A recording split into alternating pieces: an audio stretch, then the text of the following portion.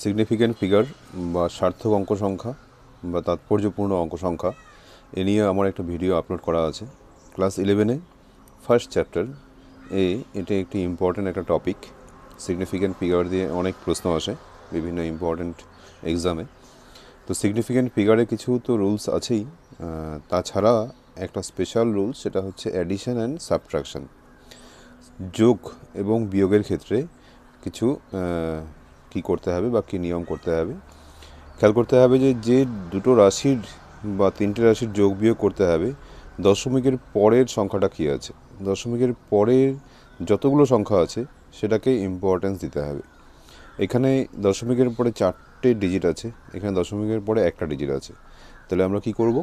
এখান থেকে এইভাবে একটা এরকম টান দিয়ে দিলে ভালো হবে। তারপর এটাকে যোগ করে দিলে twenty five point four two four two four three আসলো। এখানে ফোর এখানে টু এখানে ফোর যেহেতু এখানে টু আছে, তাই এই এটাকে যদি অ্যাপ্রক্সিমেট করা যায়, তাহলে এটাকে লেখা যায় এরকম টোয়েন্টি ফাইভ পয়েন্ট ফোর এই টু আর আসবে না। তো এখানে যে দুটো রাশিকে যোগ করা হলো, তার মধ্যে দশমিকের পরে সবচেয়ে কম ছিল চার, এখানেও দশমিকের পরে সবচেয়ে কম ডিজিট এখানে একটা ছিল, এখানেও একটা। তাই এখানে সিগনিফিক্যান্ট নাম্বার হচ্ছে টোটাল ওয়ান টু থ্রি এটা হচ্ছে এটার অ্যান্সার হবে। আরেকটা এক্সাম্পল আছে, এখানে তিনটে সংখ্যা আছে। তিনটে সংখ্যার মধ্যে মাঝের যে সংখ্যাটি আছে, তার দশমিকের ঘরের কোনো সংখ্যাই নেই, অর্থাৎ এটি পূর্ণ সংখ্যা। এখানে এরকম করে যদি দাগ দিয়ে দিই, তাহলে বুঝতে সুবিধা হবে।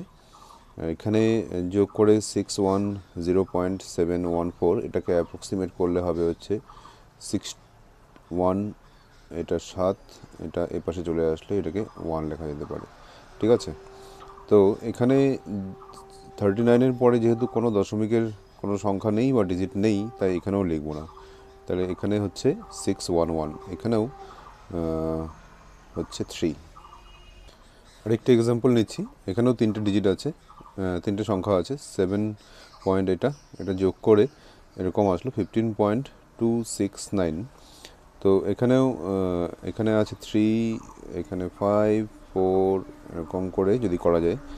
এখানে দশমিকের পরে একটা ডিজিট আছে, এখানে বাকি তিনটে, দুটো এরকম ডিজিট আছে।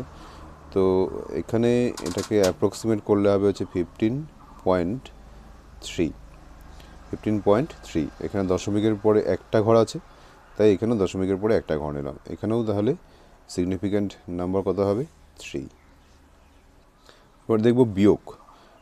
বিয়োগ করলেও একই নিয়ম তো এরকম করে নিতে হবে।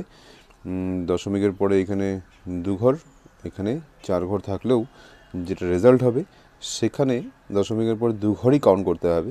এটা fifty forty four point approximate করে লিখলে ফাইভ আর এটা হবে হচ্ছে টু এখানে যেহেতু আট আছে, তাই এখানে হয়ে যাবে হচ্ছে টু হবে।